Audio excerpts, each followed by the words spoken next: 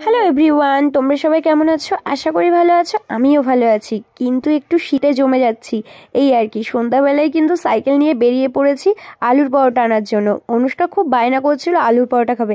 আর সাথে কিন্তু মামিও আছে। আমি এই শীতের মধ্যে চলে এসেছি আলুর পরোটার দোকানে। এসে দেখছি না, দোকানটা বন্ধ নেই। অনেক দিন এসে দেখি দোকানটা বন্ধ থাকে। তো এখান থেকে আমরা আলুর পরোটা, মাশরুম এগুলো নিয়ে রওনা দিয়ে দিলাম বাড়ির উদ্দেশ্যে। কিন্তু বাড়ি যাওয়ার সময় এত ঠান্ডা লাগছিল, এত ঠান্ডা লাগছিল, আর বাড়ি যেতে মনই চাইছিল না। তাই আমরা চলে গেলাম একটা ক্যাফেতে চা খাওয়ার জন্য। আমি আর আমার মামি।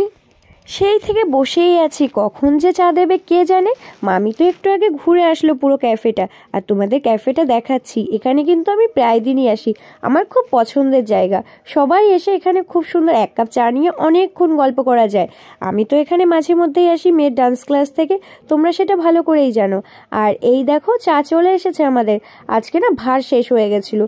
যাই হোক ব্যাড লাক আমাদের। আর আমি আর মামি মিলে লাভ বানিয়ে নিচ্ছিলাম। আর এই ফটোটা ক্যাপশন দিয়েছিলাম। আমার প্রিয় মানুষের সাথে অনেক দিন পরে দেখা হলো। চাটা কিন্তু অনেক ভালো লাগছিল। কেননা শীতের মধ্যে তো, তার জন্য এখন আমরা এখান থেকে বেরিয়ে যাচ্ছি। আর আইটিআই মোড়ে ভোজ উৎসব শুরু হয়েছে ষোলো তারিখ থেকে একুশ তারিখ পর্যন্ত। তোমরা যে যে আসবে চলে এসো। আমি তো আসবই। এখন কিন্তু আমরা বাড়ি যাওয়ার জন্য রওনা দিয়ে দিয়েছি।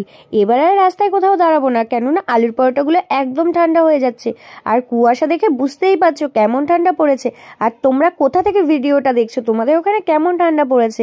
সেটা কমেন্টে জানাও। প্লিজ, আর এখানে যা ঠান্ডা পড়েছে, যার জন্য ঘর থেকে বেরোনোই যাচ্ছে না। আর এই জায়গাটা আসলে তো কাশ্মীর কাশ্মীর ফিল হচ্ছে। আমি বাড়ি চলে এসেছি, আর বাড়িতে এসেই দেখছি, বাহ! এ তো আমার সোনা সোহাগা কপাল। আজকে তো বাঁধাকপির চপ হচ্ছে, আর সেটা বানাচ্ছে আমার মামা। দেখেছ, এটা আমার ছোট মামা। যাক, আজকে খাওয়াটা বেশ ভালোই হবে। ঠান্ডায় পুরো জমে যাচ্ছিলাম, এই বাড়ি আসলাম, এখন আলুর পরোটা খাওয়া হবে। মামা বলল আলুর পরোটা পরে খাস। আগে বাঁধাকপির চপটা খেয়ে দেখ কেমন হয়েছে।